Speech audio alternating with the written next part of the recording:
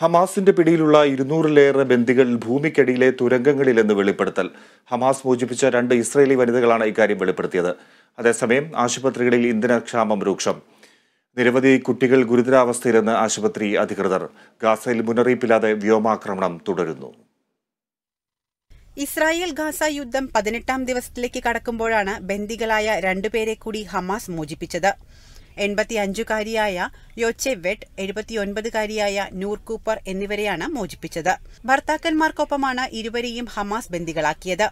ഇതോടെ ഹമാസ് മോചിപ്പിച്ച ബന്ദികളുടെ എണ്ണം നാലായി. അതിനിടെ ഇസ്രായേലിന് ഐക്യദാർഢ്യം പ്രഖ്യാപിച്ച് French president Emmanuel Macron tell അവീവിലെത്തി.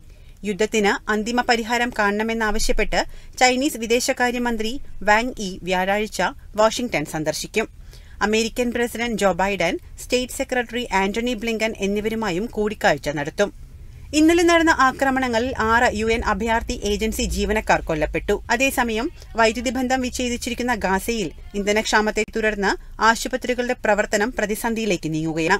എന്നാൽ ബന്ദികളായവരെ പൂർണമായും മോചിപ്പിച്ചാൽ മാത്രമേ വെടിനിർത്തൽ അടക്കമുള്ള സമാധാന ചർച്ചകളിലേക്ക് കടക്കൂ എന്നാണ് ഇസ്രായേലിന്റെ നയം. News desk Kerala vision news.